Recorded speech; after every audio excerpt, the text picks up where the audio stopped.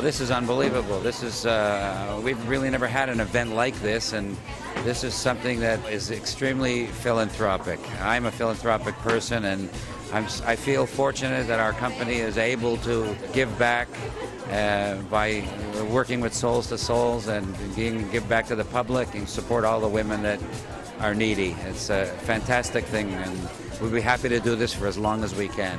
Well, here at Nine West, there are a ton of fabulous shoe styles for fall. They have a great gold and black story, which I'm really loving. Lots of platforms, glossy patent is back. So pull out those fabulous high heels and black glossy patent. Um, they have fabulous wedges, and navy seems to be the new black this season. Lots of military detailing. There's definitely something for everyone here.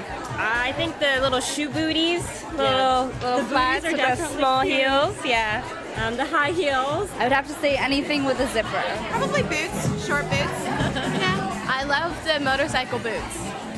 Yeah, I'm definitely feeling all the boots. I see some here and they look great. I wish I could have brought a Santa Claus bag sack filled with shoes, but unfortunately I had this sack, so I just brought a few pairs, but it was good to donate. It's a good cause. Actually, uh, Kirsten's a shoeaholic, so she brought some pairs for us to donate that have actually never been worn.